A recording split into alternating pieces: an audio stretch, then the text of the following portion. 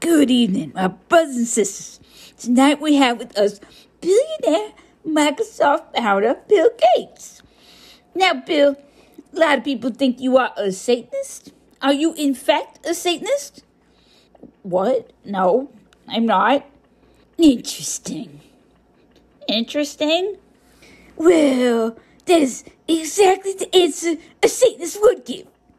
False denial. That suggests you are, in fact, a Satanist. Well, what answer would a person who isn't a Satanist give? Hmm, oh, so interesting.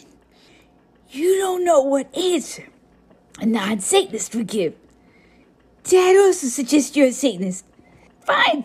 So what if I am? I mean, hypothetically, I mean, don't we all have the freedom of religion? So you admit you're a Satanist then? Look, I thought I was here to talk about my Needles for Africa program.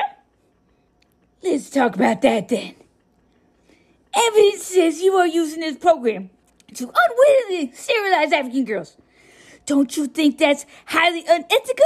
Not to mention extremely inhumane? Are you? Are you DJ Hopalot? Isn't this Africa today? No, I'm Alan. This is smoking gun. Hopalot is next door.